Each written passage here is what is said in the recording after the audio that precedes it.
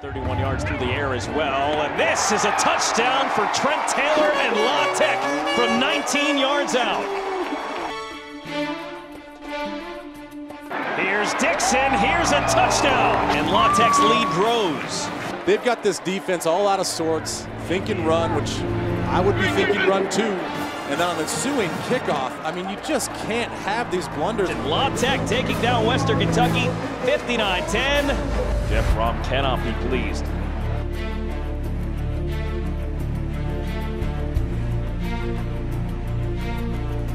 It's playoff time. Really why we all play the game, get to the playoffs. This is a playoff. Yeah, you need to have a playoff mentality. You want to advance, you win the game. There's a little saying that says success equals doing all the little things right. We always play with swagger, we play with confidence, no matter what's going on in the game, I want guys out there that have swagger and play confident. I don't know about y'all, we going bowling. Yeah. Lee shotgun snap, Showers throwing it left side, picked up. We're going to go all the way. Here they come. 25, 30, 35, 40, 50, 40,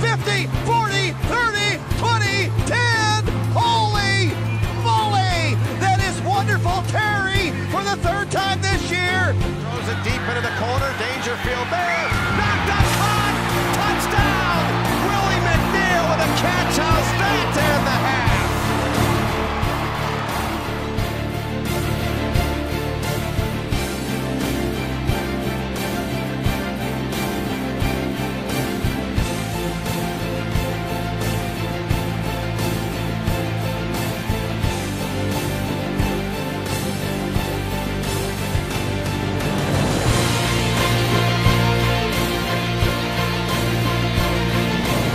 At home looking to defend their turf. It has been years and years since they have lost in Huntington, West Virginia.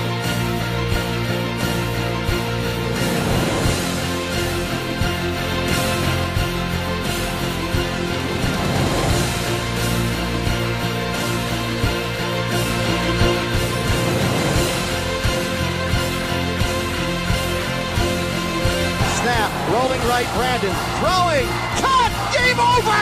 Willie McNeal, a two-point conversion, and WKU has shocked Marshall.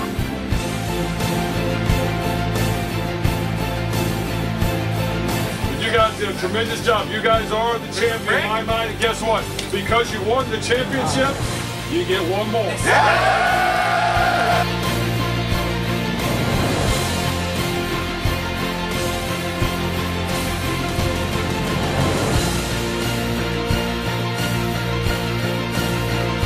Here's Doughty again. Great pocket for him. End zone. Touchdown.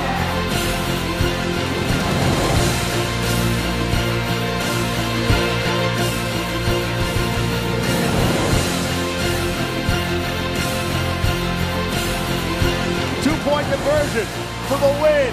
Back corner of the end zone. No. 49 to 48. Western to award the first ever Popeyes Bahamas Bowl championship trophy to Coach Brohm and WKU Hilltoppers.